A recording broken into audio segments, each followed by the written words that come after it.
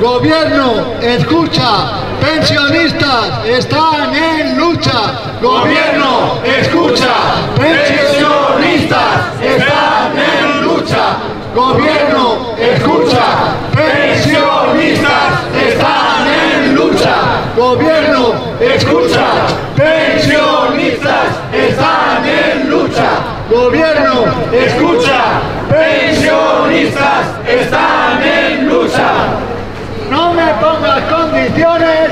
Y la siguiente medida que tenían que tomar es que mm, si realmente el fondo de pensiones ya fue saqueado en su momento y el fondo de pensiones que hay no va a dar para mantenerlas, bueno, lo que hay que hacer es procurar que la gente que empieza en el trabajo, la gente joven que está, que está trabajando, realmente cotice, los empresarios coticen por lo, por lo que realmente están trabajando y los trabajadores y las trabajadoras coticen por las horas realmente trabajadas. Ya sabéis que en la mitad o en la mayoría de los, de los mm, empleos, en la mayoría de los trabajos, la precariedad es la que prima y se están haciendo jornadas de 8, incluso de 12 horas ahí con contratos laborales de media jornada.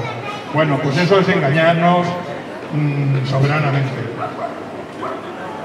Nosotros ya estamos jubilados y estamos jubiladas, bueno, más que bien estamos en la calle y pensamos que no nos va a afectar o nos va a afectar eh, poco. Pero la gente joven que está trabajando o que están con vistas a trabajar lo va a tener muy crudo, entonces que no se nos olvide.